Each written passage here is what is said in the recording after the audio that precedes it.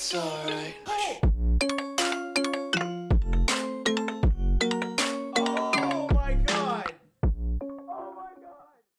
Yo guys, what is up? Maxon on Borderlands 3 video, and today we're going over Maurice's Black Market vending machine location for the week of December 16th. Now, real quick, before we jump into the video, uh, Wonderlands just put out two new class reveals for two classes in the game, and I have a video covering everything you guys need to know. I'll have that in the pinned comment if you haven't checked it out. Uh, the Spell Shot and the Clawbringer both look absolutely sick. All right, let's get into this video.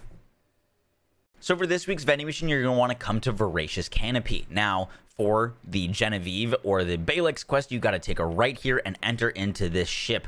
And this vending machine is right on the path of this ship. So as soon as you enter, uh, just follow along the path that you have to take. There literally isn't like another option. You got to go this way, uh, take this left, take this right, take this left again, and then our vending machine is right here. Now, I haven't looked into it yet, so hopefully it's a good week.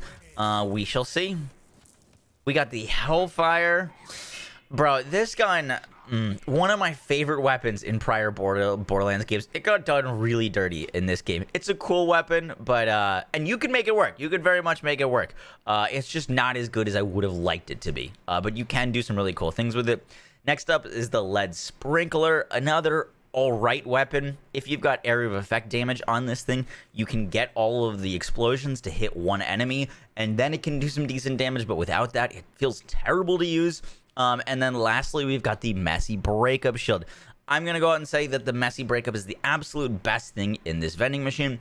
If you did not know the Messy Breakup, uh, when it depletes, you're accompanied by a small drone that will fire at enemies, dealing 3,700 damage per shot. When your shield breaks, a temporary drone will come to your aid this drone if you're using it with FL4K and FL4K's Purple Tree, can do tons of damage, and you can use an action skill Start Messy Breakup to spam a bunch of drones that'll all get some of your pet damage, and uh, it's really, really good. Uh, that's definitely the best item, and guys, that is the week. It's an all right week. If you're a FL4K main, this is a must pick up, this Messy Breakup, and go into Purple Tree.